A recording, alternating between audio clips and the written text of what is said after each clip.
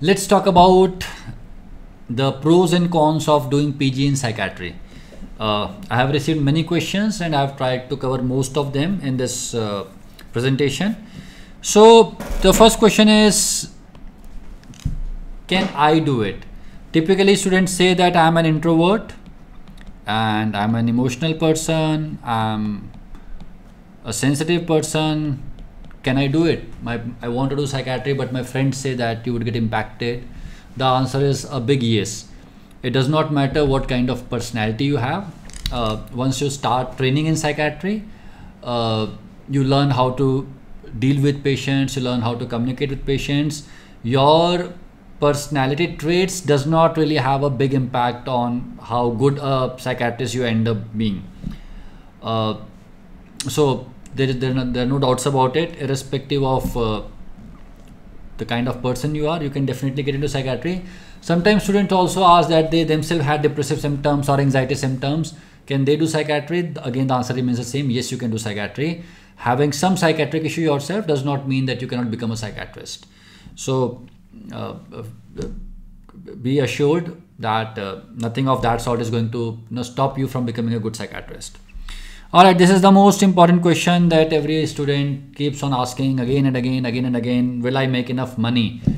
And uh, see the answer is uh, dependent on multiple factors.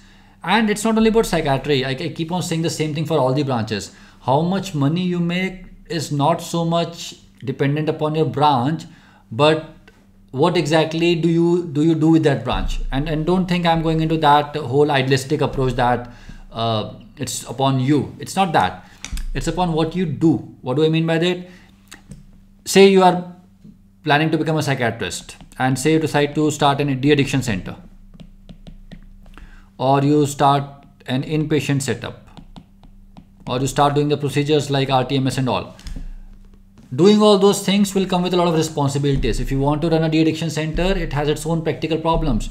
You have to get a place and you have to get the staff and you have to get, take care of medical legal issues same applies to having an inpatient setup. So if you're happy doing all these things you'll make a lot of money. There's no question about it right? And similarly if you go to government hospital, you join a government hospital, then you would be paid what everybody else is paid. And this is true not only for psychiatry, for any branch. If you if you do your if you say you become a cardiologist and you join a government hospital, you'll make what government pays you. And if you open your own center and you know start doing interventions and all, you start making more money. As medical students, you think that the money that you make as a doctor is dependent upon the branch primarily. In reality, that is not true. Branch is a very small part of uh, uh, uh, the many determining factors that end up uh, you know deciding how much money a person a doctor makes. So again if you want to make a lot of money you'll have to take care of a lot of trouble. And you know you do these things you make a lot of money. Uh, second thing is can uh, psychiatrists make good money in second tier or third tier cities? So the, again the answer is yes. Uh, i mean since last eight nine years uh, when i got into practice I, I, have been in touch with many of my friends and seniors and juniors who went to smaller cities like allahabad or bhopal or you know indore is not so much a smaller city but tier 2 cities right? And uh, all of them have been doing good.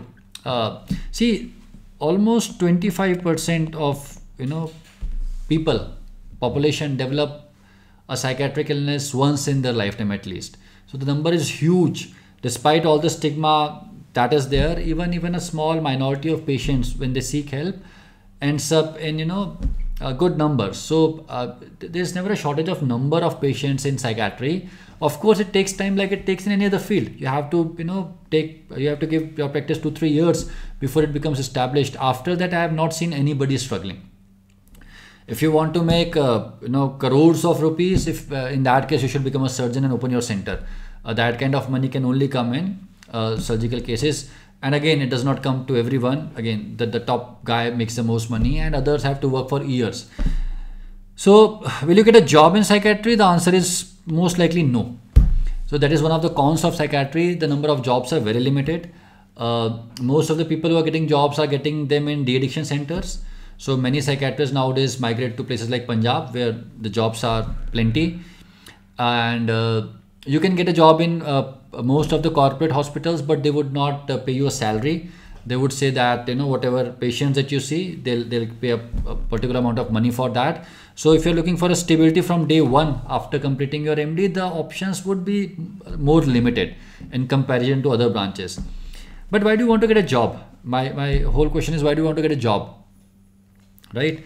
A psychiatry is something which is meant for private practice because you don't really need a setup. All you need is a table and one good chair for yourself and two more chairs for patients and you're good to go right? I, I started my private practice from a garage right? That, that was also rented.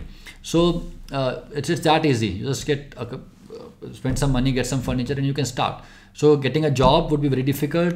Establishing uh, starting a private practice very easy. In a span of two three years you get established and then there is no looking back. It, it usually you know runs very smoothly but if you want a job immediately after co- completing your md uh, you might get into trouble. You, you may get uh, a srship or something but if you want to have a job job uh, the options are limited. Is it getting saturated? Not really. Not only psychiatry but no branch uh, is getting saturated in any time uh, in, in in near future. And see india is a big country and uh, despite the number despite the increase in the number of seats uh, the speed with which the population is growing still is significant. So i don't i don't see any branch getting uh, saturated in near future. What will happen in what will happen 10 years later is a matter of discussion. But i don't think it's it's happening anytime soon. When when i started practicing i i i, I i'm from delhi but i went to noida to start my practice and continued seeing patients in delhi also. At that time probably i was third or fourth psychiatrist in noida and i thought you know what if we have uh, three four more psychiatrists what will happen to the practice? After that i think now we have 20 psychiatrists in noida itself. It did not really make any difference. So don't worry. It's not getting saturated anytime soon. Now this is a strange question. I keep on getting should i get do it from a private college? And people ask me what is the roi return on investment. Now this is a new term that has entered the medical field that if i spend this much money will i be able to make that much money after uh, i get into practice? Uh, again see uh, whether you go to a good government college or private college it does not really change most of the other things. Of course if you go to government college you get more exposure and uh, you see more patients and it's anyways better. I mean nobody would ever choose a private college over a government college. Said that even if you go to a private college uh, i don't see a lot of harm um, any major harm in it. Go to the private college your exposure would be lesser your your, your learning might be lesser but after that go to a government place and do your researchship you will learn whatever was lacking. So uh, should you be spending money for that degree? That is totally your call. If, if you come from a rich family if you can afford it why not? Do it. If you come from not so wealthy family probably you should study and try to get into government college. Right. All right. This is this is a classic. Will you develop a psychiatric illness? In fact will it start impacting you as a person? All right. So I don't think so. Uh, see, the trajectory is the same as it happens in any other branch. Uh, when you did your internship, when you made your first DC test certificate, I'm sure you must have felt sad, right? You saw somebody dying and you felt sad, and uh, you might have, you know, uh, gotten a bit upset. But when you made your 20th DC, it stopped mattering, right? Uh, after some time, you get immune to all those emotions.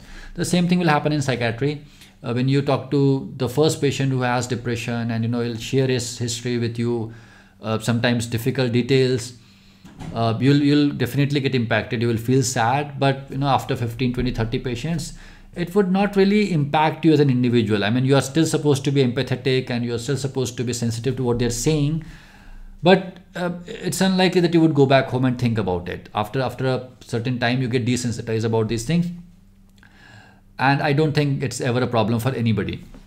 Uh, what are the cons? Okay, there are multiple cons in psychiatry. The first con, as I said, that uh, jobs are limited.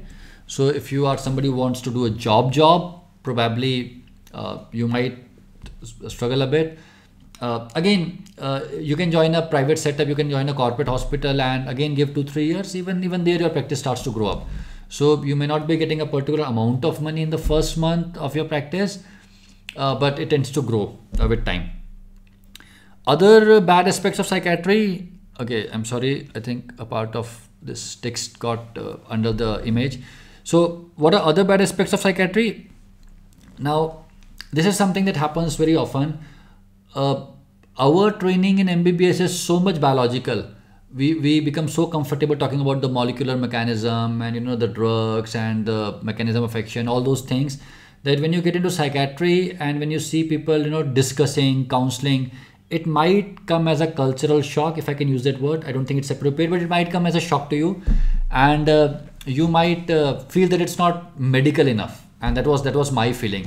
Uh, when i was doing my md in psychiatry uh, in the second and third year i was very unsatisfied with it because you know i saw consultants telling me that you know focus more on counseling and uh, the other psychosocial aspects. And i was like uh, i'm a doctor. I, am more interested in pharmacology drugs and all and uh, not so much in the other software aspects. And i was wrong. Later on i realized that counseling and you know all these things are soft soft skills are much more important. Today today i'm much more happy doing all of those stuff. But probably in your second year or third year you will feel dissatisfied. You will feel that what you're doing is not medical enough. And uh, you will see your batchmates doing you know more so-called medical stuff. And but but later on once you get into practice you can uh, practice the way you want. If you want to get into counseling thing or uh, and then those things you can do that. If you do not want to you collaborate with a good clinical psychologist and they take care of most of the therapy part and you take more more of the medical part. And this is what happens in most of the cases. After some time you get so busy that you cannot really do those counseling sessions. And anyways clinical psychologists are better equipped in doing that. So that is another con. Uh, sometimes you feel you're not medical enough.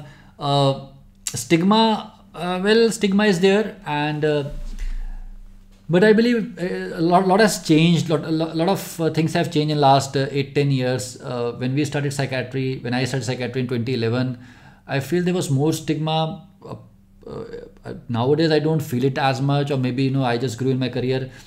But it doesn't really matter. It doesn't really matter because see if, if you need a doctor you need a doctor irrespective of how much stigma is prevalent. If somebody develops schizophrenia they'll have to go to psychiatrist right? And i think stigma is there for so many branches. Neurologists they also fa- face stigma you know epilepsy uh, many people consider it to be some supernatural phenomena. Oncologist nobody wants to go to them. No, nobody everybody wishes that they never have to see the face of an oncologist. So stigma is there no doubt but i don't think it really matters. And uh, um, as you grow in your field as you grow in your career uh, there there are so many people who just want to talk to you want your advice that uh, uh, those things stop coming in your mind. I mean if, if every time you go to the clinic if, if 10 people 20 people are waiting for you they're waiting for your help uh, you don't really think about stigma and all. Even if it exists uh, you kind of you know work in your own zone. It doesn't really matter.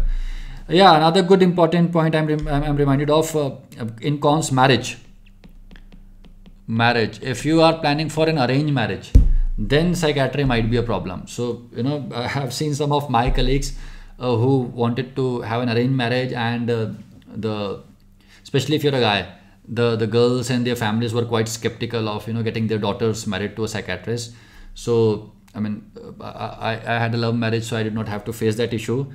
But i've seen people struggling in the marriage part. So if if that is uh, something that you want to consider as a con uh, it is there it is there. So i think this is it. These are the important uh, points that uh, i wanted to cover.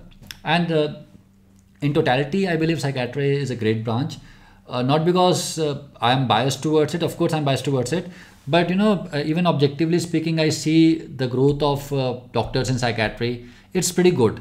They don't really have to struggle. I mean this is a misconception that psychiatrists struggle later on. It, they do not uh, and it's not only about me it's about uh, all the people that i have uh, been in touch with. And they, they have been uh, people with different skill set working in different cities. I have not seen even a single person struggling. But it takes two three years before you get established which is true for all the branches. I feel psychiatry gives you a great work life balance. Uh, you know when you get into your mid 30s you don't really want to get up in the night and attend emergencies and all. And that way it gives you a great work life balance. It's very satisfying also. Some people think that uh, uh, do the patient really improve? Yes, they do really improve. I mean, uh, you you can change their lives. I've, I've had so many patients who saw one of my video on YouTube, came from a far flung place, you know, uh, some somewhere from UP or Bihar, you know, from far flung places. They did not even know they had OCD, and then they took treatment. They became better, and they were so thankful. Same applies for schizophrenia and all. So it's a very satisfying branch. It's a chronic. Uh, you you deal with chronic illnesses. Relapses may happen, but overall it's very satisfying. So I don't really see any big red flags as far as psychiatry is concerned.